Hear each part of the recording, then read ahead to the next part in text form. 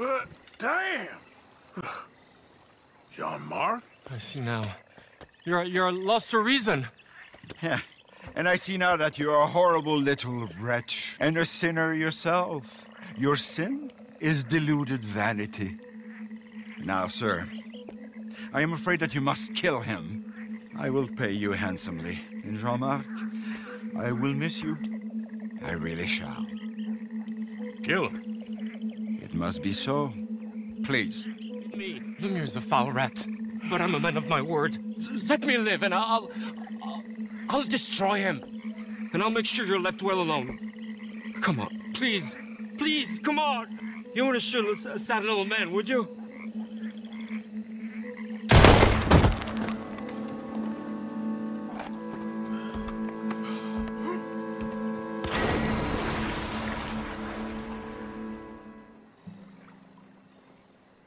Oh, crap.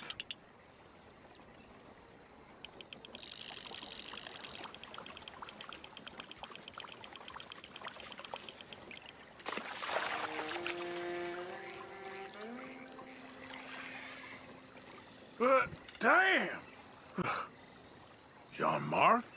Is that you? Ah. I'm sorry, buddy.